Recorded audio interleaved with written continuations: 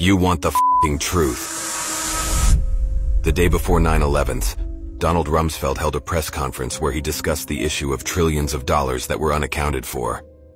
He mentioned that there were estimates of $2.3 trillion in transactions that couldn't be tracked.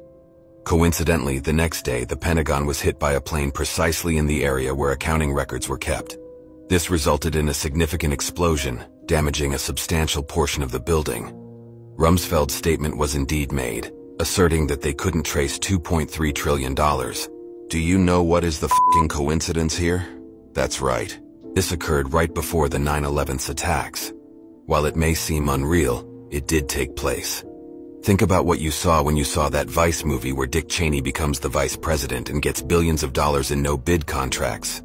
Now think about what we just saw with Donald Rumsfeld saying they couldn't find $2.3 trillion. That money could build a whole other country. So,